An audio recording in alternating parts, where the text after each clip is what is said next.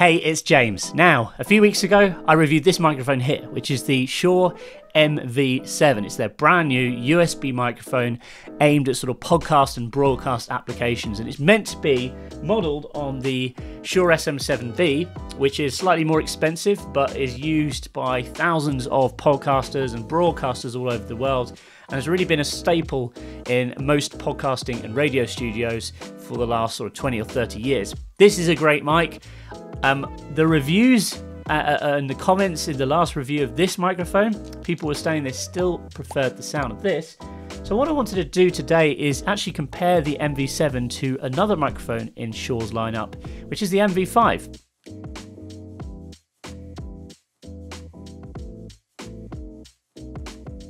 So yes, MV7, fantastic microphone. But what I wanted to do today is compare it to this one, which is the MV5. It's kind of plasticky, it looks a bit like a golf ball. This microphone I actually bought when I was at a conference one day. Uh, I was at South by Southwest a couple of years back. I didn't have a microphone with me, I'd forgotten to pack one, so I got this delivered on Amazon Prime now. To be honest with you, I've not really used it since, but I did notice when I was doing some tests recently that this little mic, although it's less than half the price of the MV7, the MV5 sounds really good. So I thought it'd be interesting to record a video today and compare the two. Now, the intro of this video, we've been recording entirely on the MV7. No messing around on the app. It's just out the USB straight onto Audacity. So now let's switch over to the MV5 and I'm going to show you the little uh, button it's got on the back, which kind of enables this sort of voice mode, which I think sounds really good. And I think it's easily going to sound just as good as the MV7, but it's half the price. So if kind of style and form factor doesn't really bother you, yes, I know the MV7 looks like an SM7B, but let's save ourselves $150 here. I think the MV5 retails around 100 bucks.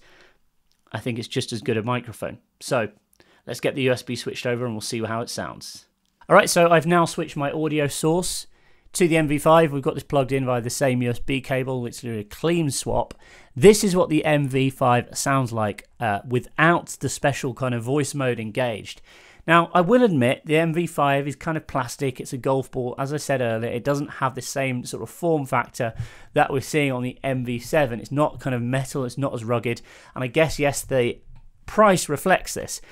However, you can easily mount it on a microphone stand like I have now, so it's just as good if you want to be using it in a studio setting. It also comes with a kind of desk stand. I'll show you some uh, footage of this, but uh, you know, which I don't like. This is one of my pet hates with USB microphones is the fact that they have these desk stands that are actually like a few inches tall and you kind of to actually use it practically you kind of have to be right down you know with your face practically on the table uh, that's not practical whilst you're recording, you know, sat at your computer. You really want something that's elevated sort of your mouth level, which is why I like to use these microphone arms, of course.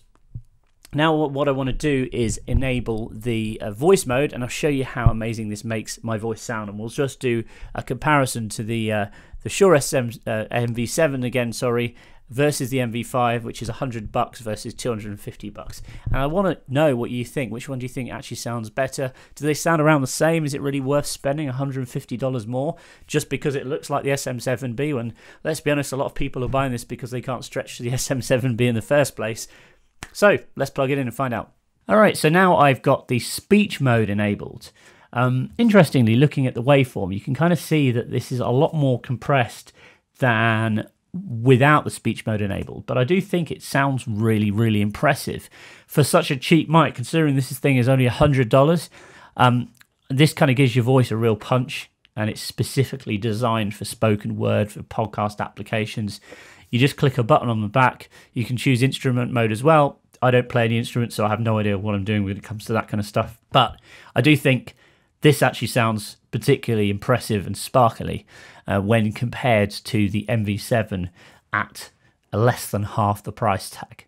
Let me know what you think in the comments below. We're going to just quickly go back on the MV7. I'll plug that one back in so you can get a direct comparison of this voice mode, which the MV7 does have kind of various options on the software, um, but no buttons actually on the hardware itself to uh, enhance your voice like this. Okay, so we've now switched back to the MV7. No processing applied, straight out the mic via USB, the built-in USB interface. Um, I think you'll agree The MV5, when it has that voice mode enabled, has a real punch to it, which I just don't think this microphone can offer. Um, yet to play around with the actual software. I know there is a MOTIV software, Shure MOTIV software, which is what the MV stands for, uh, which you can download and tweak the actual sound of this. But you know, if you're in a rush and you don't have time to mess, start messing around with those settings, I actually think the MV5 is perfect, um, and it kind of sounds better. It's a little bit more portable, almost pocket-sized. Yes, the build quality is not as nice. It's not like metal. And it is a kind of plastic golf ball. It's kind of a weird thing, but I still think it looks pretty funky. Uh, but let me know what you think in the comments below. Is this worth the extra $150 or would you just go with the MV5 for 100 bucks, which I think is a pretty good deal? Let me know in the comments below. More videos like this one coming your way soon. See you later. Hey, I'm James, founder of Radio.co. Before you go anywhere, I've got an interesting question for you. Do you know the difference between a radio station that launches and becomes very successful, gets lots of listeners and does very well, and a radio station that perhaps kind of doesn't launch very well and disappears within a few months, doesn't really get much attention. Well, I've put together a checklist which will illustrate to you in a very simple way the five key differences between radio stations that launch, do well, versus radio stations that launch and kind of disappear. You can download your free copy over at radio.co slash checklist today. Find out exactly how you can make the most out of your radio station. That's radio.co slash checklist. Go and grab your free copy. I'll see you there.